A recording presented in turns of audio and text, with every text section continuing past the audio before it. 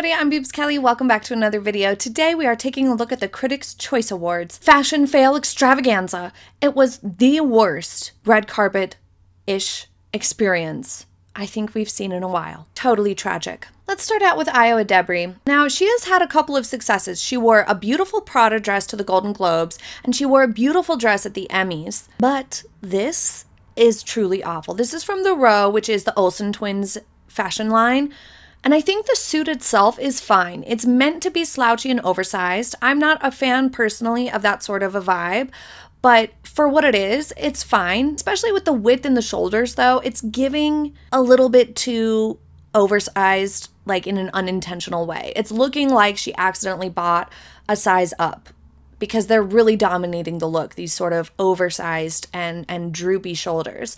But also the crew neck underneath, it doesn't match perfectly and it's way too casual. And then, third problem, these shoes. Just awful. If you're going to go for an oversized cream suit, for goodness sakes, do a better job of styling it. As far as like if you're going to do the masculine vibe, at least match something. You know, have the shoes match, have the crew neck match, have your whites match, or incorporate black somewhere else. Don't just plop black shoes onto an otherwise all white outfit. It maketh no sense. DaVine Joy Randolph, I I love the skirt portion. I think that the corseted bodice is pretty nice as well, but I wish the sleeve and bust portion was the same material as the skirt because this mixed media look plus the sparkly around the knee area, the embellishments there for the mermaid skirt is just one too many things going on. It's just one step too far to make it really flow nicely and look cohesive. Also, that shine up here, because shine is always going to give more visual weight than matte, it's making her top area look even bigger. It's making her bust and shoulders look way huge and dominating to the look. And if it were in a matte fabric, it would not have the same impact. Next, we have Keri Russell in another questionable dress, unfortunately. This is Stéphane Rolland. I just don't like it. The high collar and the dolman sleeves and then the ruffles. It's giving frumpy, maybe stuffy, dowdy. It's just not working. I like the look of the train. The fabric looks beautiful, but the rest is just a bit moo moo gone wrong. She could have really freshened this up with like a bun, like a really high, like top knot bun, way up high on the head, would have like elongated her up out of this high collar. Allison Williams in Zuhair Murad, I think it's fine. It's a tad frumpy, almost too much volume at the hip and thigh. It's just okay, but I like it much better than some of the other looks from this evening. Wearing Boss, we have Taraji P. Henson.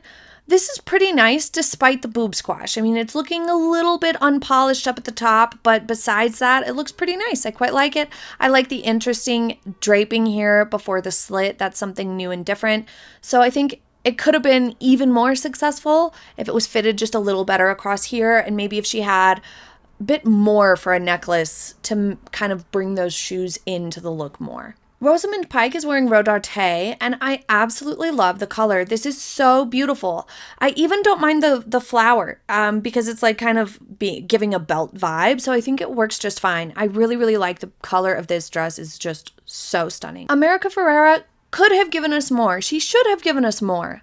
It's just kind of a plain brown sequiny dress. It's got a little bit of a sheer aspect to it in the skirt portion. I just think like there wasn't even a necklace to spruce it up. Can we get a little bit more, please? Something to just boost it. It is flattering though, and it is slimming and streamlined for her, but that doesn't mean it must be devoid of any zest whatsoever and boring. And I am an advocate for simple silhouettes and an advocate for simple dresses because sometimes they are the most flattering for someone. And the most important thing is that the person is complimented in their outfit, that they look more beautiful. It enhances their features. That's what's most important. But for this, it's just like there could have been something when you do have a simple dress, being really careful about your jewelry, accessories, and hairstyle is what will make it rather than leave it in that boring category. You do still have to try. Next, we have a Stella McCartney dress that I think it's like okay. I quite like it. This is Emerald Fennell, and I think for her body type, sleeves being up just on her shoulders would have been more flattering than these side ones that are kind of poofy. it's just not giving the most flattering appearance to this off the shoulder area here for her. Or maybe like her hair down, something could have helped it. A necklace, something. It just looks a little not that flattering up here, but the rest of it looks really nice. And I like the dress in general. It's pretty otherwise. It just maybe didn't flatter her the best it could have. Ali Wong in another successful look. She wore Dior to the Golden Globes, very successful. Here she's wearing Givenchy and looks great. This is really pretty. I think it's a very pretty, interesting design. I love that it has spaghetti straps. I don't mind the sheerness of it, but for some reason, I don't know if it's my computer, my screens, or the camera flashes, it looks like there's weird patches in it. So if there were weird patches, those gotta go. If not, it's great that's just another one of those times where you got to be careful how things photograph and this sort of double layered mesh situation can create a challenge in in photographs with the camera flashes kind of bouncing around inside the dress not knowing what to do and it doesn't always come off the best but in person I'm sure it looks stunning Rachel Brosnahan, one of the most successful looks of the evening. I love this Givenchy dress here. It's got buckles across the top, and it's a polka dot style embellishment throughout the dress that I absolutely love. I would wear this, I would buy it, I would love it. But then we have Juno Temple in the same designer just kind of not meeting standards here. I think the styling is ruining this. Her hair just looks a little messy, quite frankly. Headband isn't really working. I think if she had an updo, the headband would have worked. If she would have just had her hair all swept up, it would have helped elongate, would have looked really nice and polished, and the headband would have been fine. But this just is giving a little too mature, but also sloppy at the same time. Not quite working. In another Givenchy dress, we have Ariana DeBose, and I think it's just okay. I think she needed better foundation garments for this neckline. She needed something giving her a little bit of support because it's just looking a little droopy. This would have been pulled off way better with somebody with maybe a bigger bust or something. I think it's just kind of also throwing her proportions a bit off because you have this deep v neck and a high slit and bare arms. It's kind of shortening her torso here. But in general, she looks beautiful. I just don't know that this was the best dress for her body type. Karen Pittman here looked beautiful in her ball gown. It would have benefited from some opera gloves to make it on trend, but it is a lovely fit and a classic silhouette, and I'm glad to see the necklace bringing the eyes up and really taking charge of her look, giving you a focal point, telling the eye where to go. That is the key to good styling. Now, this next dress, I'm not 100% sure who designed it, but it reminds me a little bit of Oscar de la Renta. This is Carla Gugino, and it is so pretty. This dress, I would have loved to see styled with like an old Hollywood glam hairstyle, like a side part and just big, loose, beautiful curls to juxtapose this modern texture of the dress. I think it would have been so beautiful. Maybe like a pearl necklace or something would have been so gorgeous. But regardless, this dress is beautiful. I absolutely love the modern take to this floral dress, having this interesting texture, and the slit is just nice and subtle. This is really pretty. Next, we have Lily Gladstone in Christian Siriano, and I like this way better than her Golden Globes look. This blue is so gorgeous and radiant. I absolutely love this big skirt and train, almost in a bustle style as it comes from the back and around. And the skirt of the dress is really slenderizing the way that it's draped. It's wonderful for her. She does have somewhat rounded shoulders, so the hair down was smart, and this dress looks flattering nonetheless. I particularly like that the bodice comes up high enough. It's not giving quad boob like the the Golden Globes dress did. It fits. It could have done with maybe slightly taller, slightly bigger cups, but I'm not mad at this because it does fit well. Siriano is masterful at making sure things actually fit a variety of body types, and this is just proving it right here. It is gorgeous, elegant, and beautiful. Next, let's take a look at what Chanel brought us for the Critics' Choice Awards. We have Camilla Morrone, and I quite like this one. It's chic, it's fresh, it balances her figure nice. Perhaps a half up hairdo would have been cute, maybe even like a black headband to echo the bow a little bit, tie it all together. And then we have Bel Powley in Chanel Couture, and I like this. It's quite fun, it's different. The contrast between the fluffy, feathery sleeves and skirt is really nice contrast to that fitted, sleek blazer sort of bodice area here. I do think the sleeves could have been toned down just a tad to be a little bit more wearable but I'm not mad at it. I think this works. I think this is fun and quirky and cute. The bow tie, I could have done without, but I get it. They're going for the vibe. It's fine. Julianne Moore also wore Chanel Haute Couture, and meh, I don't particularly like this ballooned effect around the middle for her. It's a baby doll style that doesn't rein in the volume until well below the knee. And so it's just not my favorite silhouette. It's making her look a little bit frumpy, a little bit blah. It's not quite doing anything for her. The fabric seems okay though. It's got kind of an iridescent finish, which is interesting, but overall the slit and the brooch looking embellishment is just a little too clunky, kind of disappointing. Next, we have Ariana Greenblatt in Louis Vuitton. I love this double layered silk skirt. It is so, so pretty but I do not love the leather bustier. I think it would have been much more successful if it had been more of a corseted vibe and was a bit more fitted. Because of the fact that it's kind of loose and you can see that it's loose and then like I get it, they were trying to have it flow into the start of the skirt. It's just not quite giving her enough of a flattering look. It's not flattering her figure. It's making things look a little bit wider and, and almost frumpy around the hip, and it's taking away from her waistline too much, which is not fair. It shouldn't. Otherwise, I like the look and I like the idea of it. I just think it would have been so much more flattering on her if it was more like corseted, like tight. Emma Stone wore custom Louis Vuitton and it's again a simple, perfectly fine dress. I like the scalloped edge. I think it adds a good amount of interest. And I think that's flattering for her body type. It's not creating a focal point of like her waistline or anything because she's a little bit more rectangular shaped. So all of that is good. It would have benefited her look from a styling perspective of just giving it a little bit more interest, a little bit something more to elevate it and enhance it. Okay, one of the best, most successful looks of the evening was Tracee Ellis Ross in Fendi Haute Couture. This stretch corset and silk georgette skirt look absolutely impeccable and fabulous on her. This is perfection. It's also really flattering to her body type. It's so polished, it's so well styled, it's perfect. She's relatively hourglass, but she can lean a little bit pear, a little bit like of a bottom heavy hourglass, so to speak, where your hips or thighs are slightly, ever so slightly wider, but you still have a well defined waist. So having this exposed shoulder is something she can really get away with well because it just adds a little bit of balance to her figure. So it's perfectly lovely. Now, before someone says, We've seen this before, it's boring.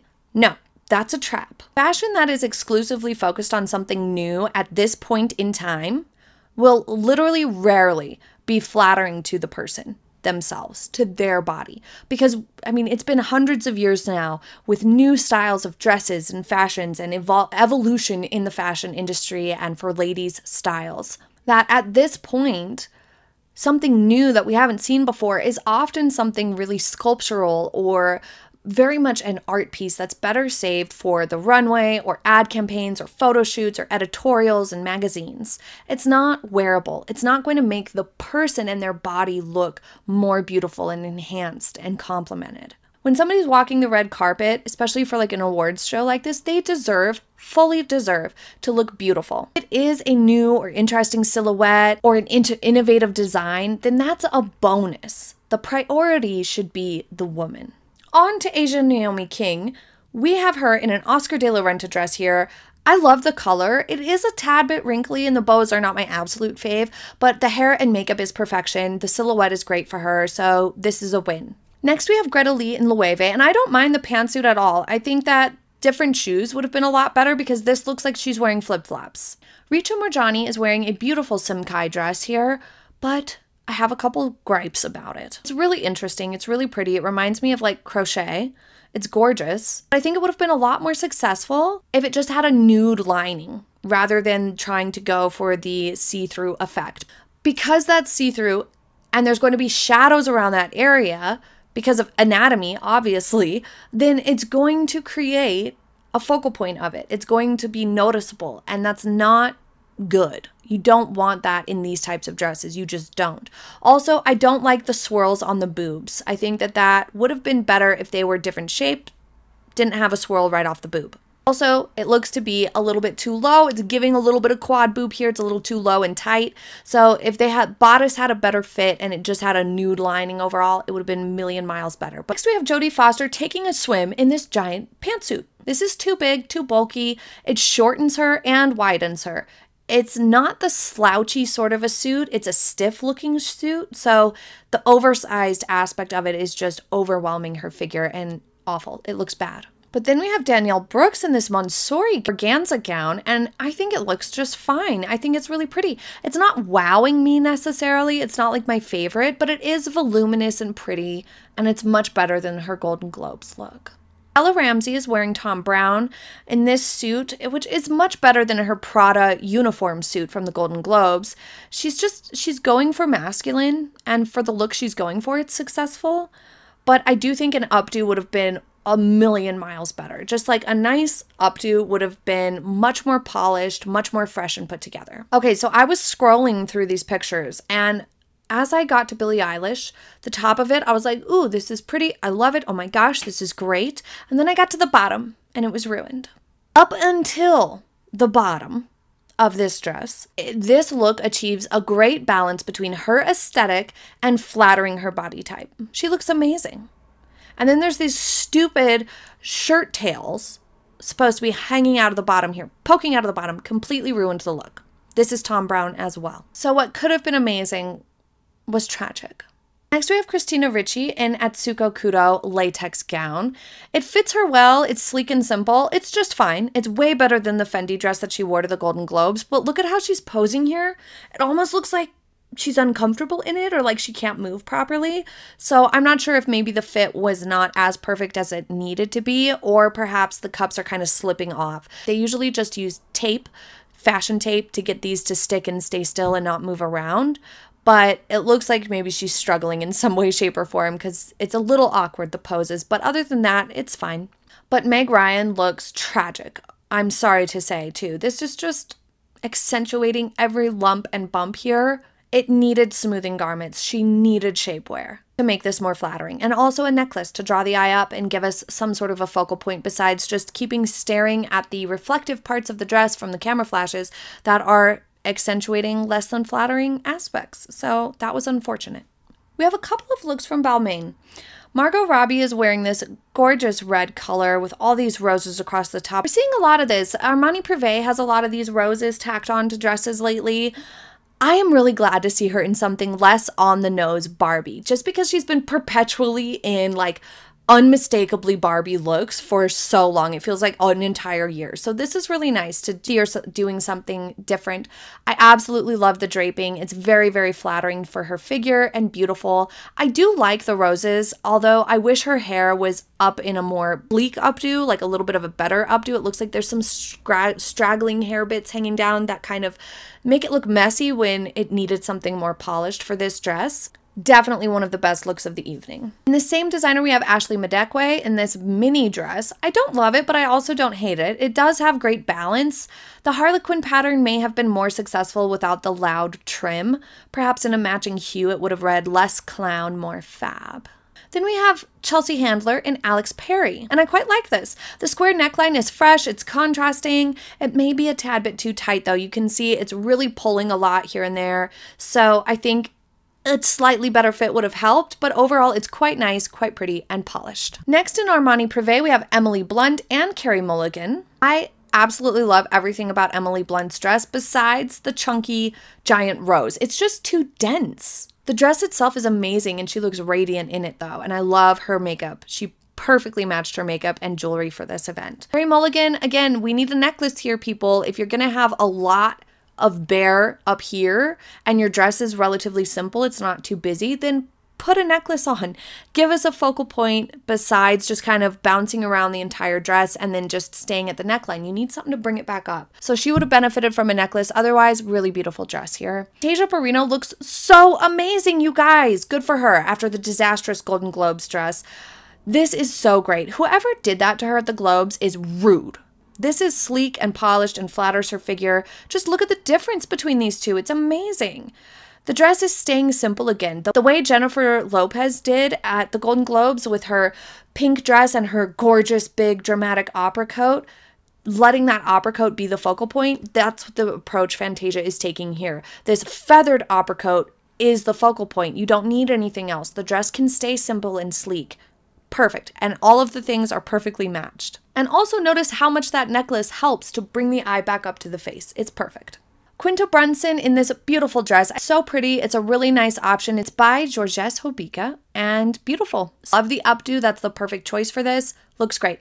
Dua Lipa wore Prada. And although this is a great silhouette, the texture combined with the color is just not great. I find the color combo with the texture to be kind of reminding me of like meat or, or coral or some sort of other unpleasant thing, like really unpleasant. So I think it would have been great in like blue or like lilac, some sort of other color. It would have been fabulous.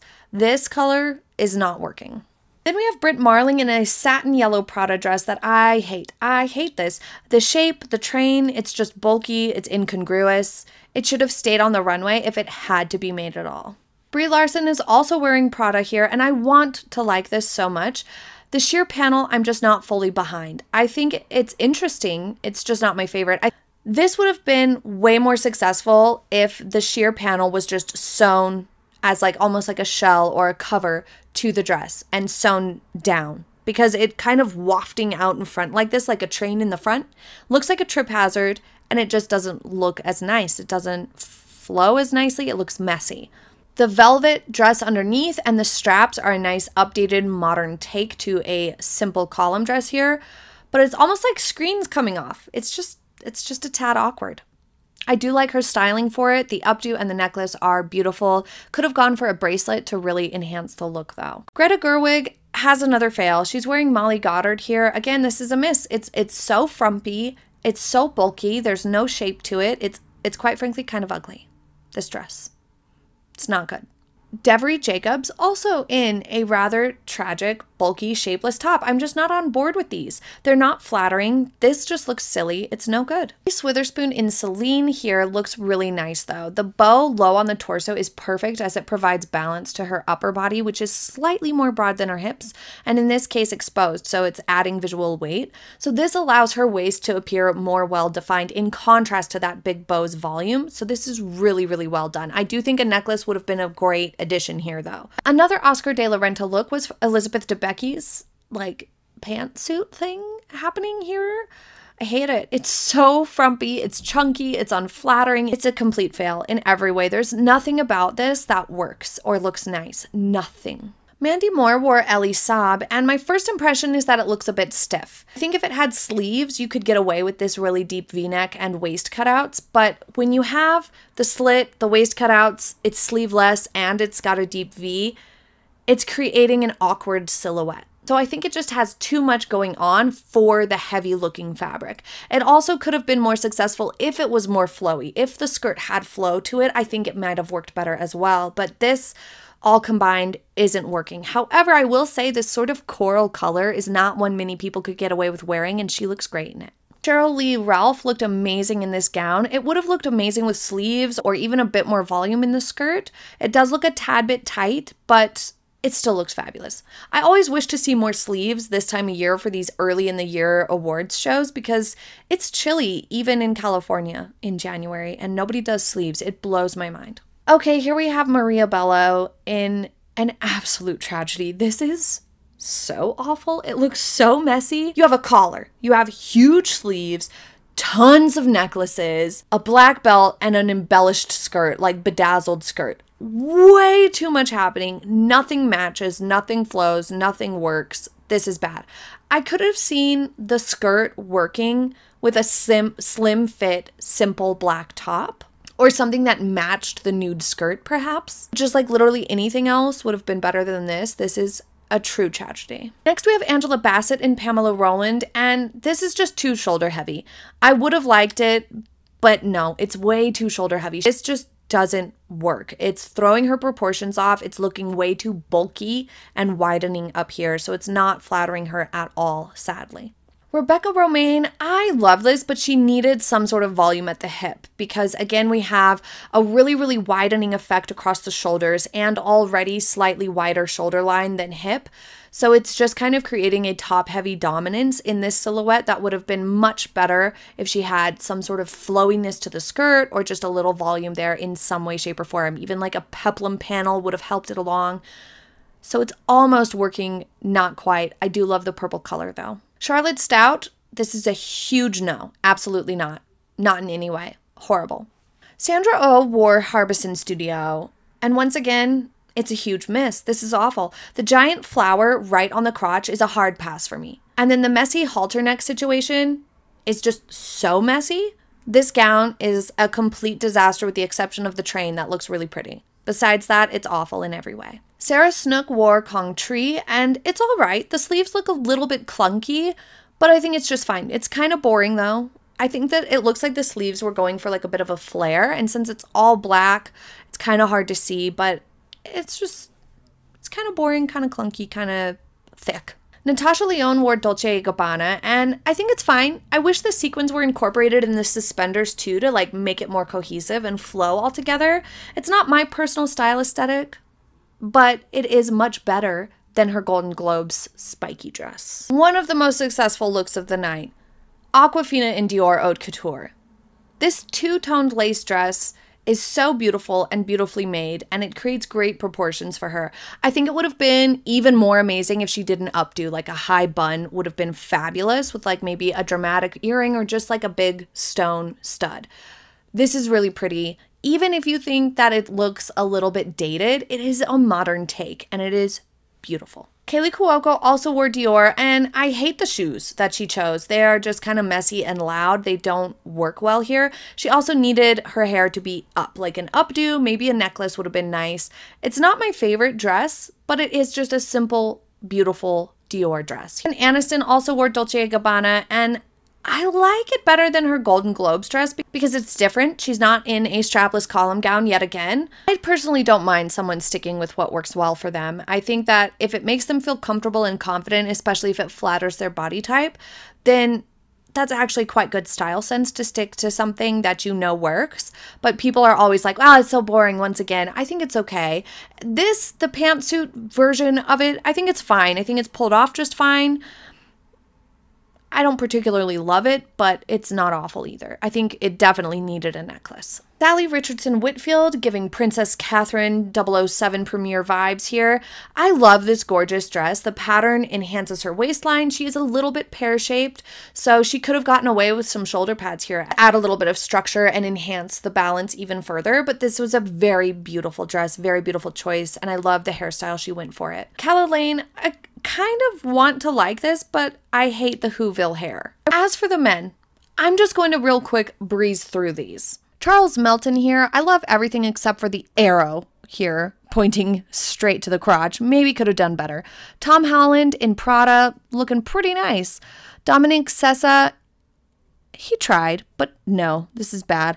Cillian Murphy, you know, I've never loved these loose ties. I think it's just okay. Tatanka Means looks fabulous. I just don't love the cummerbund. Colman Domingo really went for it. I'm not 100% behind it, but it's it's interesting. It's cool. Ruffalo, classic. Pedro Pascal, he needed to stick with monochrome. These shoes need to be matching. The black shoe ruins it. It widened the legs already, so changing the shoe like that made it look like he had tiny feet. James Marsden, I don't love it. It really needed something to match. None of this matches. Tom Hiddleston, it looks okay. Sterling K. Brown, really fabulous. He looks fabulous. He's probably one of the best of the evening. John Krasinski and Dolce & Gabbana, it was good. Not necessarily a wow, but it was good. Barry Keoghan and Zayn, it was pretty good. Lee Sung Jin had this ballerina suit. I love it, but I do hate the toe split loafers. Kieran Culkin in this teal Zegna suit. It was a great color, great fit, absolutely fabulous, one of the best. And Matt Bomer, blue perfection, absolutely stunning. Really found the Golden Globes to be a lot more interesting than the Critics' Choice Awards red carpet. There was a lot more color there. The Critics' Choice Awards seemed to be a sea of black and white, which meant it was quite frankly a little bit more boring in terms of fashion and looks, which isn't always a bad thing. The super loud, always pushing the envelope, often sacrifice the beauty of the wearer, losing their figure and femininity for the sake of wearing a runway piece or an art piece.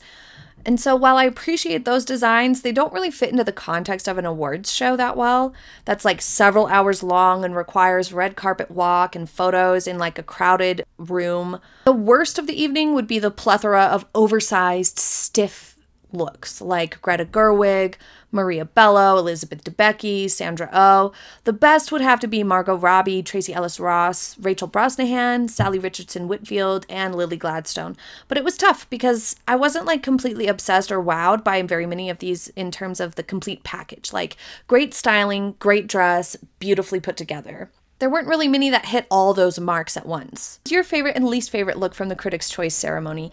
Leave it in the comments for me. I cannot wait to read. Thank you so much for joining me for today's fashion edition, and I will see you next time. Have a happy day, everybody. Bye.